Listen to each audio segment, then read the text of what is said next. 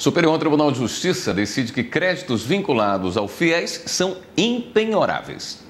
O Fundo de Financiamento Estudantil do Ensino Superior, FIES, é um programa do Ministério da Educação que financia cursos de graduação para estudantes. A proposta do governo é beneficiar prioritariamente alunos de baixa renda. Os recursos utilizados no FIES e repassados para instituições privadas são públicos e, por isso, não podem ser penhorados.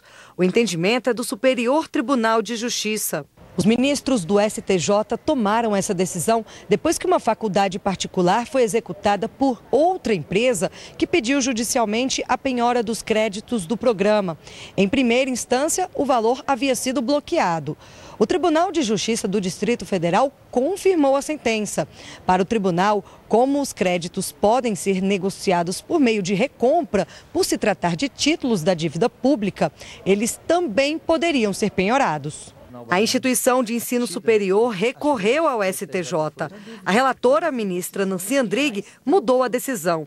Ela ressaltou que o Código de Processo Civil prevê que os recursos públicos recebidos por instituições privadas para educação, saúde ou assistência social são empenhoráveis. Essa restrição à penhora, segundo a ministra, justifica-se para prevalecer o interesse coletivo sobre o particular. Ainda de acordo com a ministra, além dos créditos do FIES estarem vinculados a um fim social, a possibilidade de penhora poderia frustrar a adesão das empresas ao programa de financiamento estudantil e comprometer o objetivo proposto.